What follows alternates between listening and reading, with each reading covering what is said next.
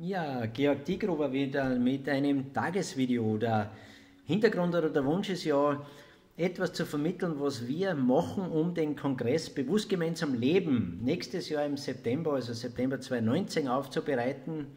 Wir sind Schatzsucher oder Schatzfinder. Es hat uns ein Buch erreicht von Franz Rohrmoser, Mein Einsatz für die bäuerliche Zukunft.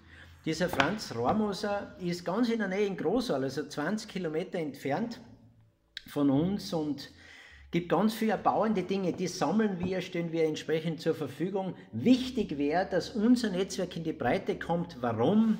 Damit wir einfach gesehen werden und wir fördern auch Unternehmen mit innovativen, tollen Produkten, weil es immer mehr Herausforderung wird, äh, die Menschen ich sage jetzt bewusst Konsumenten zu erreichen. Und das werden sehr, sehr ermutigend Dinge, Dinge, äh, Sachen, die auch den Menschen dienen, äh, gesundheitsmäßig wie immer. Auf alle Fälle die Bitte, bewusst gemeinsam leben, dieses Netzwerk zu teilen. Und heute war das Highlight der Franz Rohrmoser, mein Einsatz für die bäuerliche Zukunft, ist ein bisschen ein älterer Herr, aber das sind eben die Pioniere, die der Zeit weit voraus sind und mit denen können wir jetzt wirklich auch aufbauen und verändern und den ländlichen Lebensraum fördern, was unser Anliegen ist.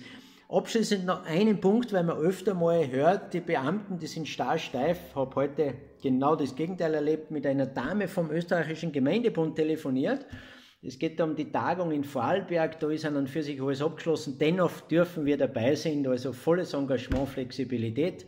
Gibt immer zwei Seiten im Leben und wir schauen auf die aufbauende, ermutigende. In diesem Sinne einen schönen Tag, bis bald. Euer Georg Diegruber.